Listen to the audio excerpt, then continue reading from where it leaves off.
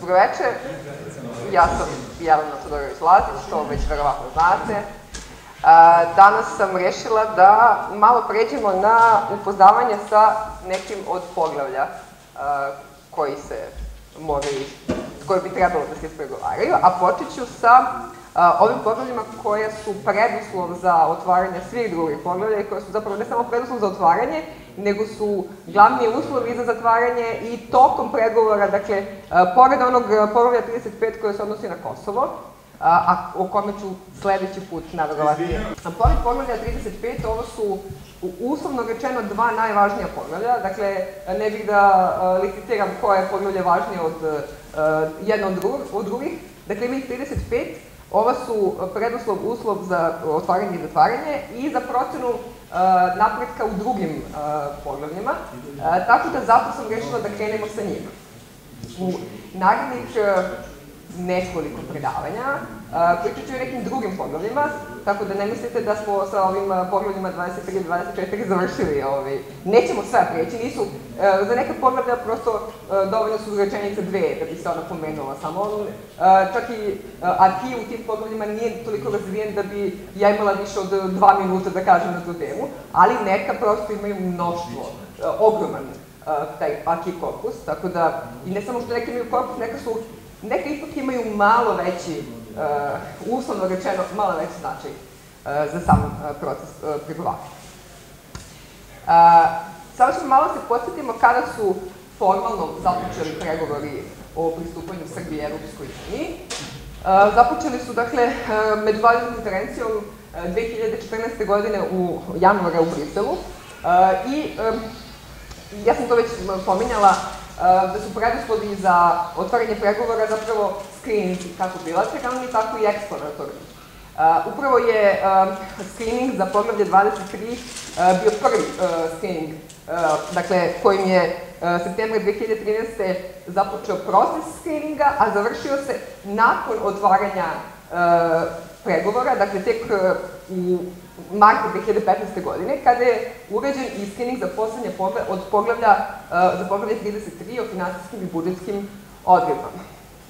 Do sada je otvoreno 16 poglavlja, dakle, ako se, uh, i dva su samo privremeno zatvorene. E, zašto samo dva? I ta dva koja su zatvorena su e, dva, uslovno rečeno, manje značajna e, poglavlja. Jedno se odnosi na nauku i istraživanje, a drugo se odnosi na kulturu. Zašto su manje značajne? Zato što u tim dvema oblastima prosto e, ne postoji zajednički, zajednički propisi, već je to ostavljeno državama članicama. Dakle, zato su ta dva poglavlja mogla da budu otvorena i privremeno zatvorena. Ovih 16 Uh, pogleda, odnosno 14, pošto u ovih 16 sam uračunala i ova dva. Uh, dakle, samo su otvoreni su pregovori i uh, traju. Međutim, zašto je samo 16 poglavlja? To je, rekli bi poznavosti, najsporiji start, odnosno najsporiji tok pregovora od svih država koje su pregovarale članstvo, počeši od ovih država iz velikog istočnog proširenja, zaključno sa Hrvatskom i zaključno sa uh, državama uh, Zapadnog Balkana koje su pre nas uh, otvorile, odnosno jedna je pre nas otvorila pregovore, to je Crna Gora. Ove neke ostale države Zapadnog Balkana još uvek nisu počele pregovore. Ono što je, dakle, kod Srbije slučaj, samo 16, ako posmatramo od 2014. godine, to je već skoro punih 5 godina traju formalni pregovori, eh, a da nismo stigli ni do polovine otvorenih poglavlja. A ne znam da li se eh, oni koji su bili na nekim ranim tribinama sećaju se koliko zapravo traje uh, sam proces pregovaranja, pa do privremenog zatvaranja, pa do zatvaranja, dakle, to, je, to su godine i godine, ako pogledamo iz te perspektive, zašto kažem samo 16?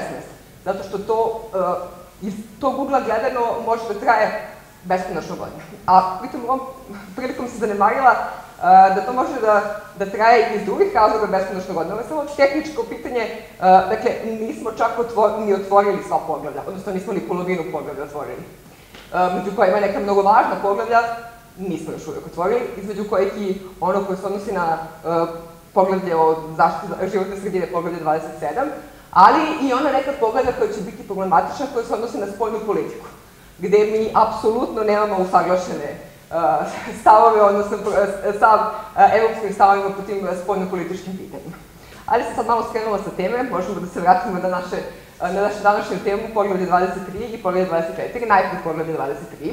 U ovim prethodnim proširenjima, pritom mislim na 2004. 2007. i 2013. godinu, ako ćemo da razvijemo to na tri godine, kad, sa ovim ulosom Hrvatske, uh, postojalo je jedno poglavlje. Dakle, poglavlje 23 i 24 je bilo jedno poglavlje, zajedno su bili, zvalo se pravosuđe, sloboda, bezbednost, pravda i onda su shvatili da je to preveliko poglavlje, da treba da se odvoji na dva, od kojih je, znači, poglavlje 23 pravosuđe i osnovna prava, a poglavlje 24 pravda, sloboda i bezbednost. I u slučaju Hrvatske je već podeljeno na dva, ali, znači, u ovim prethodnim proširenjima smo imali jedno poglavlje. Šta je problematično, kad se kaže poglavlje 23 i poglavlje 24, a prvenstveno poglavlje 23 misli se na vladavinu prava u širim smislu. I šta je problematično u vezi sa tim konceptom, odnosno sa ovim poglavljem, zato što je mali broj propisa koji na nivou unije direktno reguliše vladavinu prava. Dakle, ne postoji propis koji kaže vladavina prava će postojati ako se usvoji, evo, konkretno ovaj propis. Već je to najvećim delom ostavljeno državama članicama da na najbolji način u skladu sa najboljim evropskim praksama uh, poštuju standarde koji su za temeljne vrednosti na kojima počeva Unija. E, to je ono što je problematično. Dakle, to je nešto što svi, kad pomislimo na vladinu prava, znamo šta jeste, a zapravo to, to je više uh, pro, procena, odnosno politički kriterijum subjektivna procena da li nije samo subjektivna, ali jeste i subjektivna i politička procena. Dakle, postoje tu nekakvi standardi koje ću ja pomenjati danas, ali koji uh, ipak nisu toliko uh, eksplicitni da bi mogli da se uh, jednako ocenjuju od države do, do države. U suštini, i sama Evropska unija ima problem sa tim konceptom u nekim državama članicama, u nekim novim državama članicama, ona sama nema mehanizme za e, zaštitu vladavine prava, konkretno u slučaju Poljske i Mađarske. Dakle, e, postoji e, mogućnost kažnjavanja tih država, ali dok se dođe do tog, do primene člana 7 koji se odnosi na kažnjavanje tih država, treba države ostali jednoglasno da podrže. A očigledno je da jedna od ove druge dve države neće podržati uh, odluku da se nje, ova njena istomišljenica kazni. Dakle, to, uh, tako posmatrano, uh, sama Europska unija ima problem sa mehanizmima za kontrolu vladavine prava. I kako ćemo onda sad da to kontrolišemo i da nadziramo u ovim državama koje same imaju neke domaće majkovosti u samom shvatanju i primjenju koncepta vladavine prava. I, e, kao što sam rekla na početku, e, to je problem koji, sa kojim se Unija suočava i ona e, pokušava da promisli nekakve mehanizme kojima zapravo bi i samo i sebi pomogla kako može da kazni neposlušne države, odnosno kako da ih natrga da primenjuju vladavinu prava. Zašto, rekla sam da je poglavlje 23 i poglavlje 24 su važna, zato što proces pregovaranja može da se zaustavi ukoliko se ne poštuju e, kriterijumi e, predviđeni u tim poglavljima. E, I po, konkretno poglavlje 23 ima četiri oblasti. Poglavlje 24 ima malo više oblasti, ali poglavlje 23 ima četiri oblasti i to su reforma pravosuđa, borba protiv korupcije, zatim osnovna prava, odnosno ljudska prava i prava građana Unije. Svaki od ovih oblasti ima nekakve svoje elemente I e, konkretno, dakle, ona, e, ne znam, nije mi to ono gospodi što samo pita za reformu pravosuđa i za ubrzavanje sudova, dakle, reforma pravosuđa je prvi e, i osnovni element, polazni element u poglavlju 23. I šta on obuhvata? Obuhvata pravosuđe koje je nezavisno, nepristrasno, efikasno i profesionalno. Upravo u ovakvom definisanju stoji ono što sam malo pomenula kao problem uh, političke procene. Dakle, uh, kako će da se dokaže da je, kako da se meri, postoje nekakva, nekakvi kriterijumi, ali to nisu objektivni kriterijumi, već, kao što rekao, više subjektivni. Konkretno, nezavisnost znači u načinu izbora sudija i tužilaca da ne postoji politički uticaj. Da li je moguće da baš u potpunosti ne postoji politički uticaj? Svedoci smo da to na području Zapadnog Balkana, a konkretno u slučaju Srbije, ne, koliko god postojali nekakvi zakoni kojima se uh, to definiše kao uh, biraju se na funkciju bez obzira na simpatisanje ili pripadnost određenoj političkoj opciji, ipak na kraju se desi da su ti predstavnici Visokog savjeta sudstva i državnog veća tužilaca ipak malo politički obojeni. Dakle, politički uticaj je nešto što je teško odvojiti u državama koje nemaju tradiciju poštovanja vladavine prava. A pritom mislim i na Poljsku i Mađarsku i one takođe nemaju tu istoriju, iako su uspele da se relativno brzo prilagode transformišu da bi postale članice. To je utopija, ne? Pa recimo. Pa ako pogledamo neke ove uh, zapadne, zapadno razvijene demokratije o, poput uh, Nemačke, nije utopija. Dakle, vladina prava je nešto što je apsolutno vrlo primenjivo tamo, ali i nije baš najbolje primenjivo u nekim državama koje nemaju iskustvo uh, s primene vladavine prava. E, dakle, to, e, ne, to je bila nezavisnost. E, kako se definiše nepristrasnost? Nepristrasnost se obezveđuje na dva načina. Kroz definisan sistem napredovanja, jasno definisan sistem napredovanja u karijeri, ali i kroz sistem koji je automatizovan prilikom dodeljivanja predmeta sudijama. Efikasnost pak se odnosi na E, dužinu trajanja postupka. To je ono sa čim možemo da kažemo da e, naša država dosta fugori e, i taj veliki broj zaostalih predmeta je jako važno pitanje da bi se popravila efikasnost pravosuđa i da bi se uopšte reformisalo pravosuđe. Imamo slučajeve da nam predmeti, odnosno da suđenja u nekim predmetima traju godinama i godinama i prosto to je, ako bi se to smanjilo, to bi značilo da bi svi građani, da bi to bio boljitak za sve građane, svako ko, se nađe u prilici da bude u, u nekom postupku pred sudom, prosto bi se na taj način završavali brže postupci, neka prava bi se jasnije brže sticala ili oduzimala. Zatim, potrebno je da se napravi taj neka, nekakav sistem, da se smanji zaostatak u obradi predmeta, a to znači upravo ono što sam sad pomenula, veća pravna sigurnost dakle suđenje u optimalnom roku kroz veću pravnu sigurnost. E, na kraju, profesionalnost nosilaca pravosudnih funkcija znači da treba da dobro poznaju zakonodavstvo koje primenjuju. E, to je moguće postići kroz e, konstantnu obuku sudija i tužioca, a posebno kroz obuku da primenjuju evropsko zakonodavstvo.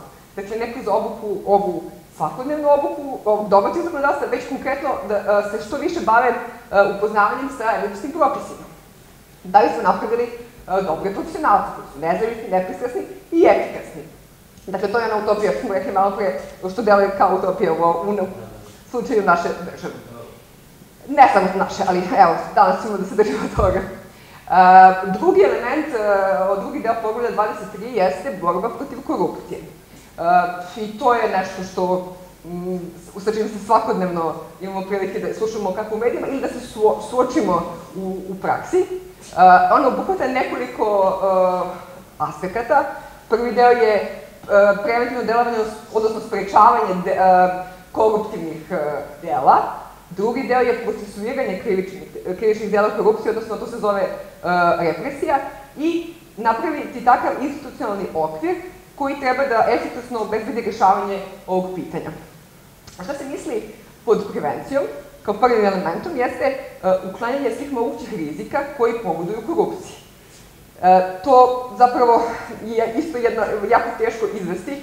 Vidjet ćete šta se, šta se, na šta se sve odnosi prevencija korupcije, dakle u, u kojim se oblastima možemo da se sretnemo sa, korupcijom, na koji se misli konkretno u ovom uh, pogledu.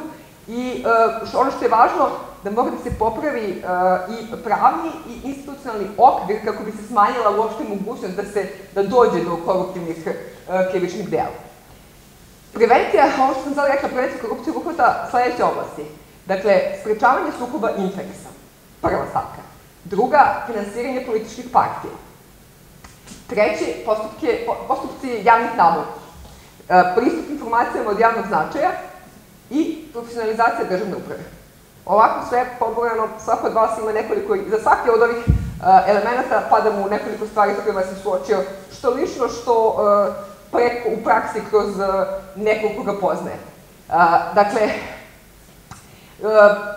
oblast prevencije je široka, široki spektar tih mogućih koruptivnih aktivnosti. Ali, pored prevencije, važno je da ako se već događaju dela korupcije, da ona budu procesuirana i krivično, počinioci krivično da odgovaraju. E, znači, to je ono kad se kaže efikasna borba protiv korupcije, e pa to je upravo taj segment na svim nivoima procesuiranje i kažnjavanje e, zbog koruptivnih e, krivičnih dela. Treći element pogleda 23 jeste osnovna prava, odnosno ljudska prava. Ovaj deo obuhvata čitav spektar zaštite ljudskih prava i od, treba pomenuti nekakva dokumenta, naravno, koja treba da se ispuštuju da bi se zaštitila ljudska prava. Prvi dokument jeste Evropska povelja o ljudskim pravima i slobodama i ta Evropska povelja o ljudskim pravima i slobodama je bila nezavisna, odnosno bila je više jedan oblik deklaracije sve do poslednjeg ugovora iz Lisabona. Nakon, prilikom te poslednje ugovorne revizije i donošenja ugovora iz Lisabona, dosta su se sukobljavali stavovi država članica da li ta povelja treba da postane deo pravnih tekovina Unije, najveći protivnici njenog uvođenja u AKI Evropske unije su bile Velika Britanija i Poljska. Međutim, dajući im neke druge ustupke, oni su pristali da Evropska povelja pravima i slobodama postane deo Evropskog akija. I samim tim je ona primarno pravo i ima istu pravnu snagu kao osnivački ugovori. Dakle, direktno se primenjuje u državama članicama. Pored ove povelje, zaštita ljudskih prava obuhvata i neke, neke druge pravne instrumente koji su doneti u okviru nekih drugih evropskih, kako evropskih, tako i međunarodnih organizacija. Pa su tu onda neke konvencije i deklaracije koje su doneli Savet Evrope i Ujedinjene nacije. Ova naj, najznačajnija u oblasti osnovnih, odnosno ljudskih prava, uh, jeste konvencija Savjeta Evrope o zaštitu ljudskih prava iz 1950. godine, uh, koja je, ne znam da li se sećate, ali nakon 2000. godine, uh, nekoliko godina do 2003. čini mi se da nismo postali, ako se, se dobro sećam, članica Savjeta Evrope, sve dok nismo usvojili ovu konvenciju. Dakle, ta konvencija je bila preduslov uopšte da se postane članica Savjeta Evrope. Dakle, ona nije samo preduslov za to, već je i u ovom korpusu ovaj, dela poglavlja 23 koji se odnosi na osnovna prava. Ali pored te konvencije, Savjet Evrope je naravno tokom dugog niza godina usvajao i neke druge konvencije koje se odnose konkretno na kulturna prava, zatim na zaštitu manjina, zaštitu dece i slične. Ono što je važno što se tiče Evropske unije u ovoj oblasti, znači u oblasti ljudskih prava, koje su sad to ob, pod oblasti u kojima se to posmatra, E sad, šta obuhvata zapravo zaštita ljudskih prava? Sprečavanje svih oblika diskriminacije. Zatim, zaštita prava nacionalnih manjina. Zatim, poboljšanje položaja Roma, kao i prava LGBT populacije. Sloboda medija. Zaštita prava djece, zaštita prava žena, zaštita osoba sa invaliditetom, reforme zatvorskog sistema, sprečavanje kulture, zaštita izbjeglica i interno raseljenih lica, kao i pitanje nestalih e, lica i zaštite podataka ličnosti. Dakle, i ovako vam e, verovatno e, deluje zašto, zašto, se, zašto je to poglavlje 23 toliko teško ispuniti, jer opet, evo konkretno, i ono što se Srbiji zameraju od izveštaja, u izveštaju Evropske komisije, jeste mnoštvo od ovih stvari, a posebno sloboda medija. Dakle, to vidjet ćemo na kraju poslednji izveštaju iz novembra prošle godine uh, u izveštaju vezanom za poglavlje 23 i poglavlje 24, šta je to? A to upravo se, jedan deo se odnosi i na um, ostvarivanje slobode medija, odnosno um, slobode izražavanja. I slobode izražavanja, ali i slobode medija. Uh, četvrta oblast u okviru poglavlja 24, 23 uh, jeste prava građana Evropske unije. Na što se to odnosi? Odnosi se na preuzimanje onih tekovina Unije kojima se građanima Europske unije daju određene prava, aktivno i pasivno biračko pravo, dakle, e, da budu birani i da biraju na izborima za Europski parlament, e, bez obzira, e, dakle, ne u svojoj državi čije državljanstvo nose, nego u bilo kojoj državi članici Unije.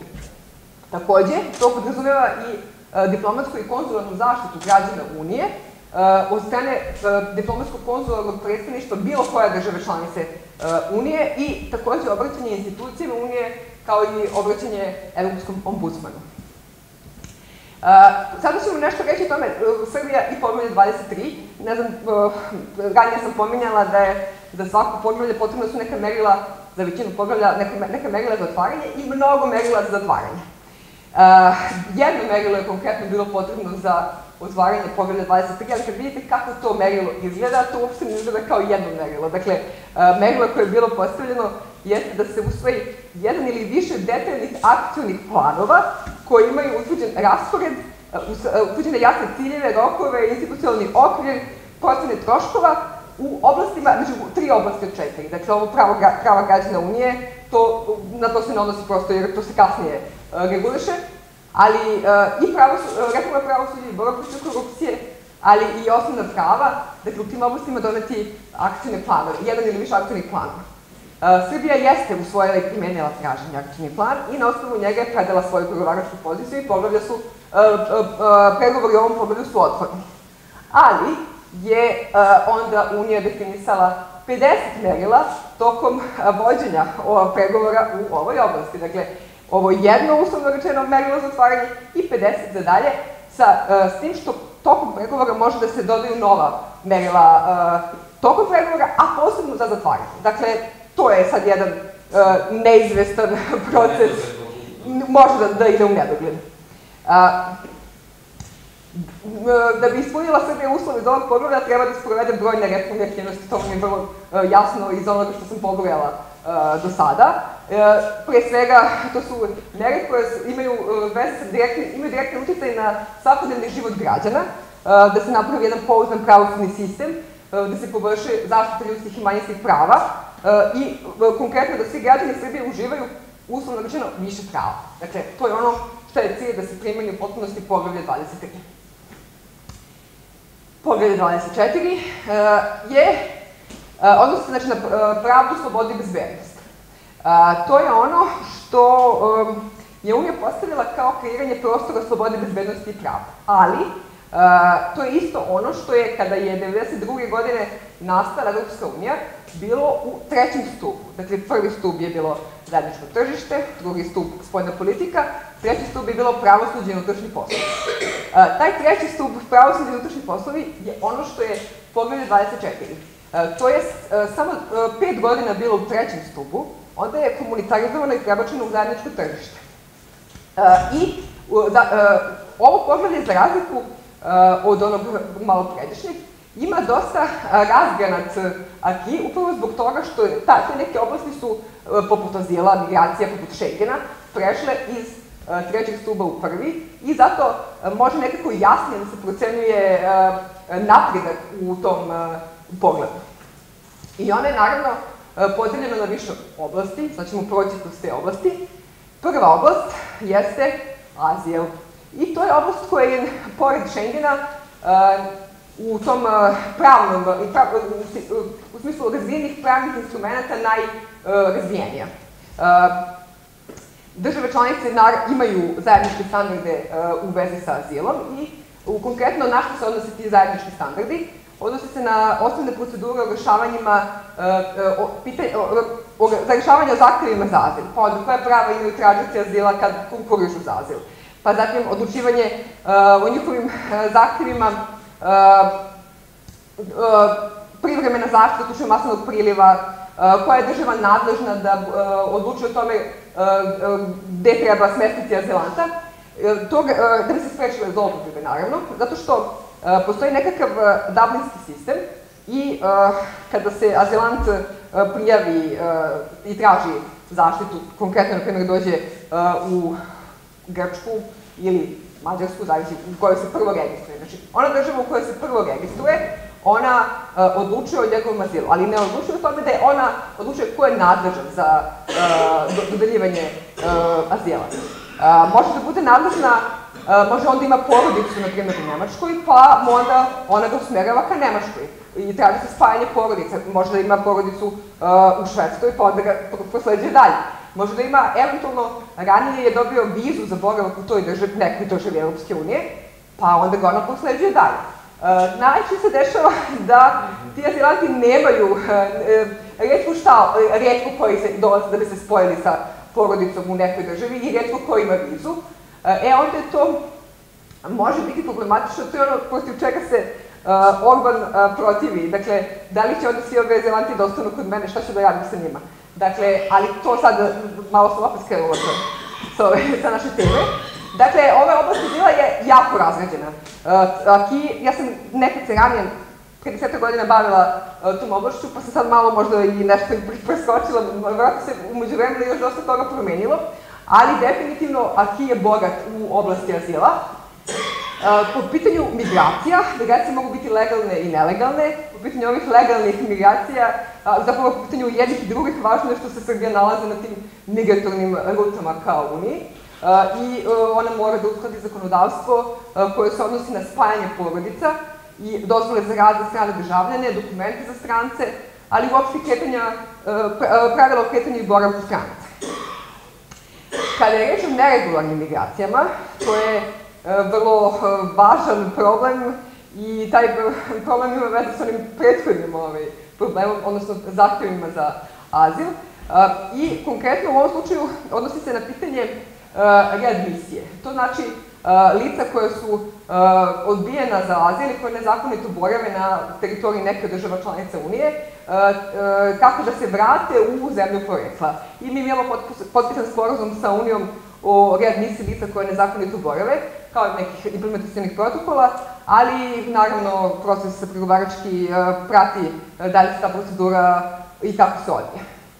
Treća, koja se opet nadovezuje logički na onu malo predašnje migracije, jeste vizna politika. E, vizna politika u Evropske unije sadrži listu država čim državljanima je državljani onih država kojima je potrebna viza za ulazak na teritoriju Unije i oni kojima nije potrebna viza.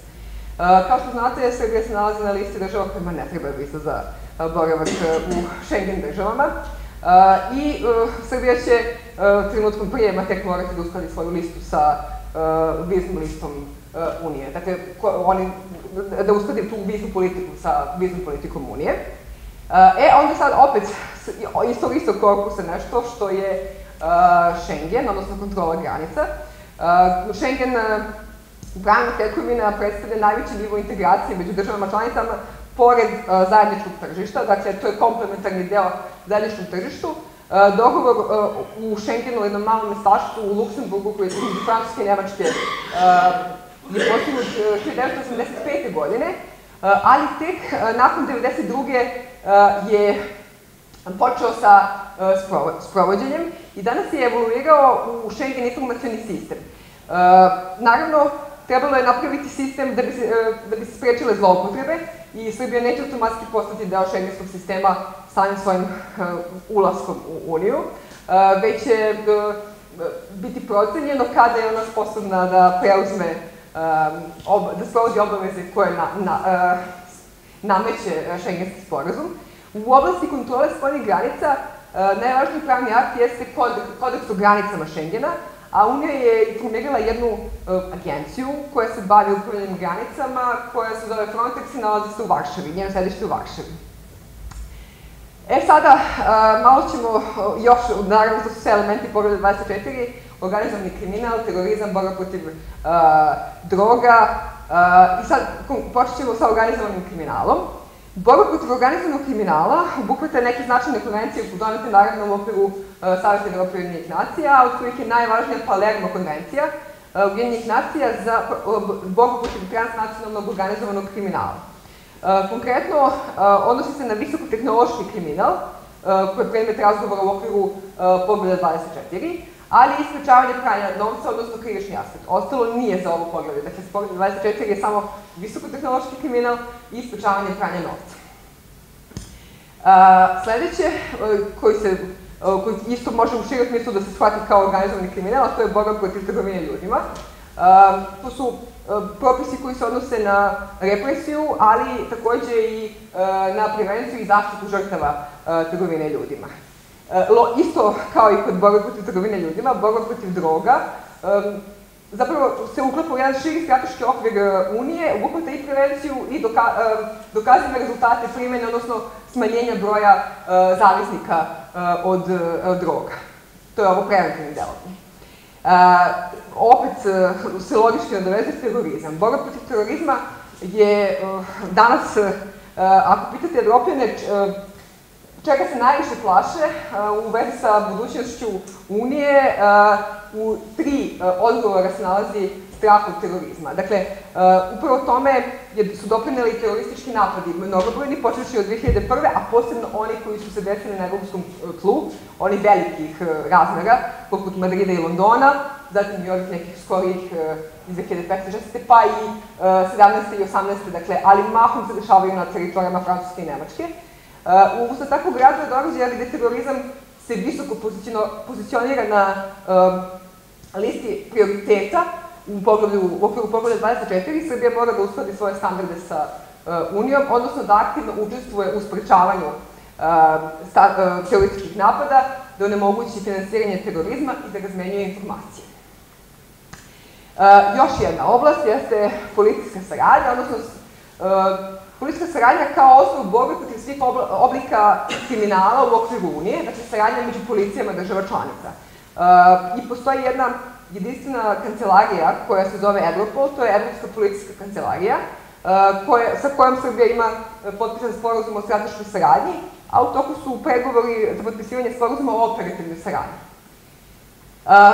Pored policijske saradnje, naravno, neophodna je i pravosudna saradnja, i to pravosudna saradnja i u građanskim i u krivičnim stvarima. Konkretno, pravosudna saradnja u građanskim stvarima odnosi se na one elemente građanskog prava, odnosno ugovornog prava. Dakle, na prava u trgovinskim stvarima, ugovorne obaveze, priznavanje izvršavanje presude u građanskim pitanjima, nasleđivanje, stečeno pravo, dok se pravosudna saradnja u krivičnim stvarima odnosi na evropski nalog na hapšenje, zatim saradnju sa Eurojustom, sa Evropske jedinice za pravosudnu saradnju poput onog Evropola, to je jedna od agencija, zatim da se uskladi ekstradicija, kao i postoji evropski nalog za hapšenje i nalog za dokaze.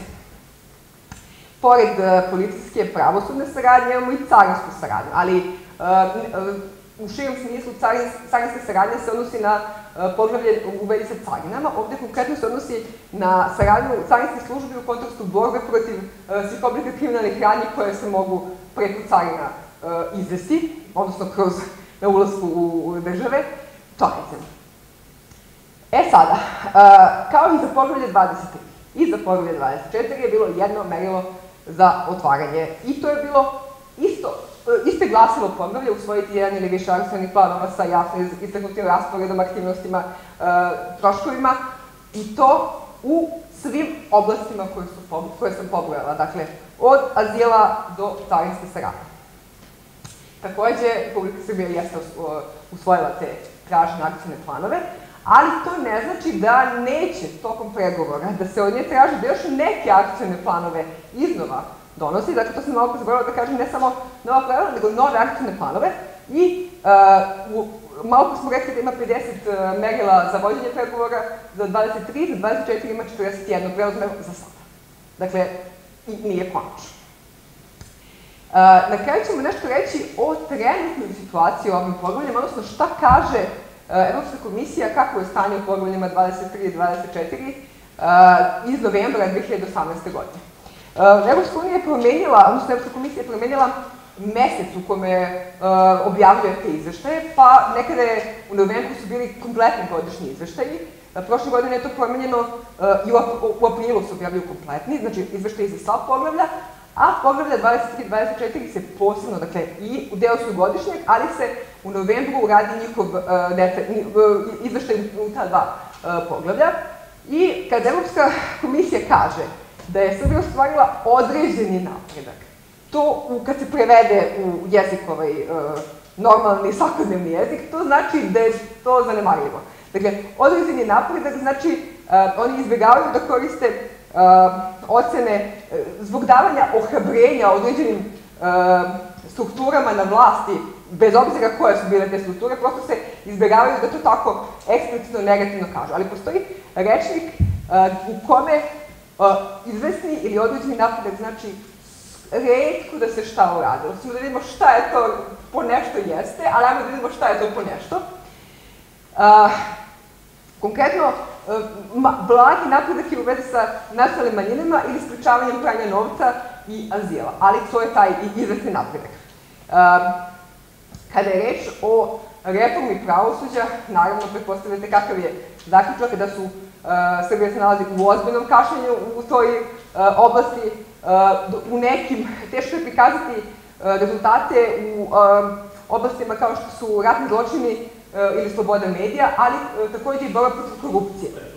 Dakle, rekao sam na početku, jačanje nezavisnosti i odgovornosti pravosuđa, pa recimo da slabo se šta dešava, proces ustavne reforme, dakle, treba doneti novi ustav, ali to je opet isto nekako sporo i traljavo se i to odvija.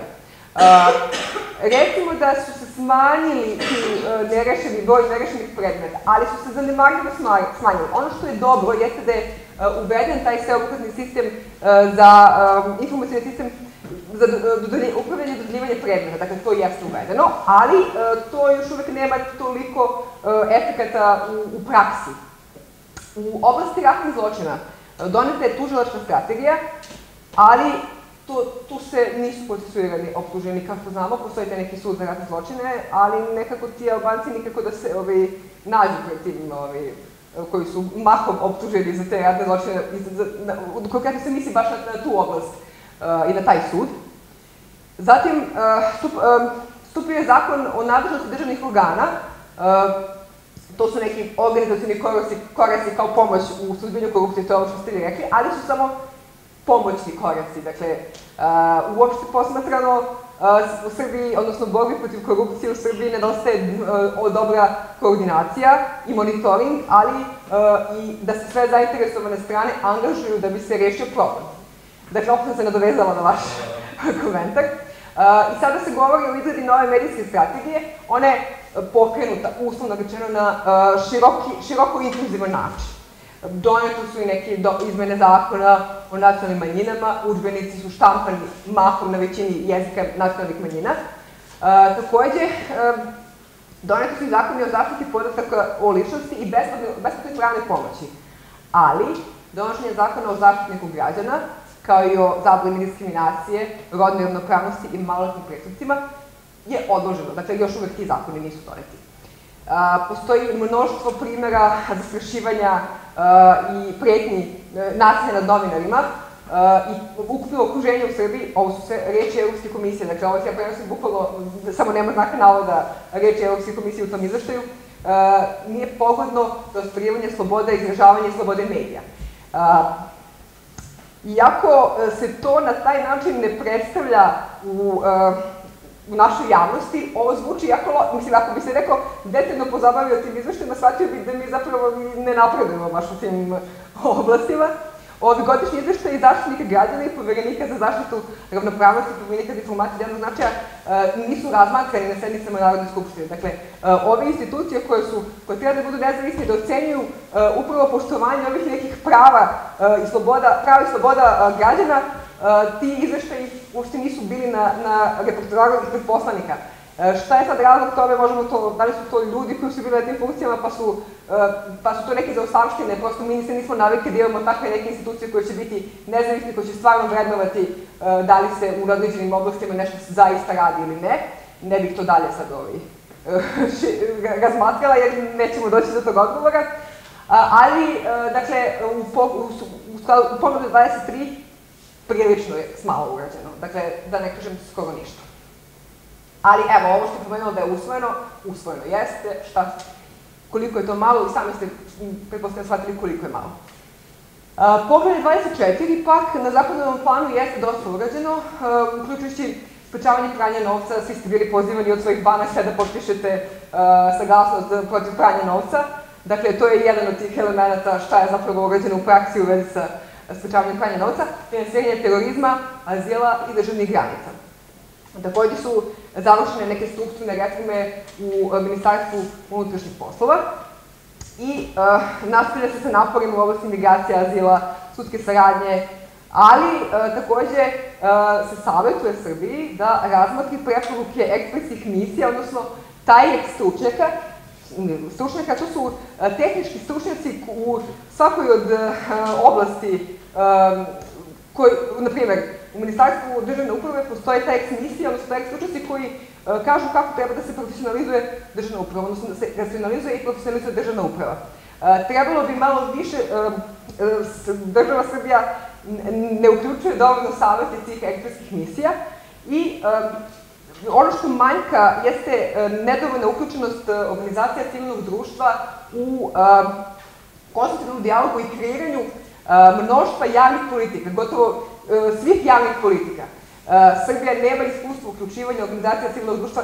Kaže, medicinska strategija nova se donosi u širokom inkluzivnom okruženju. Uslovno rečeno da, ali koliko stvarno se uvažavaju stavovi tih organizacija koje su pozvane na konstruktivni dijalog, odnosno taj inkluzivni dijalog. I ja bih ovde završila naše pogleda 23 i 24. Dakle, malo je bolje 24, prosto zato što su to neke stvari koje se lakše primenjuju, ali ipak 23 nam kvari koncepciju, da kažemo.